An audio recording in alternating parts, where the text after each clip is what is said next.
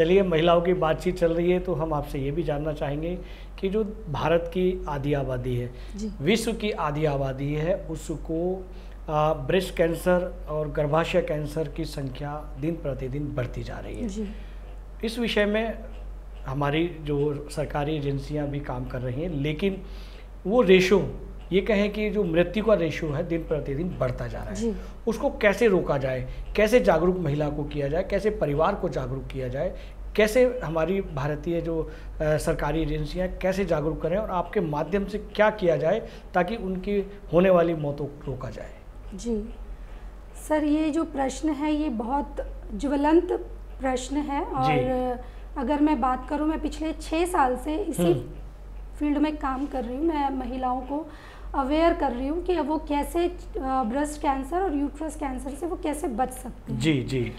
Sir बहुत सारी चीज़ें हैं। अगर एक महिला अपने मासिक धर्म के दौरान अगर अपनी स्वच्छता पर ध्यान दे हम्म। और मैं कहती हूँ सिर्फ़ मासिक धर्म के दौरान नहीं वो अपनी स्वच्छता का ध्यान हमेशा रखे। हम्म।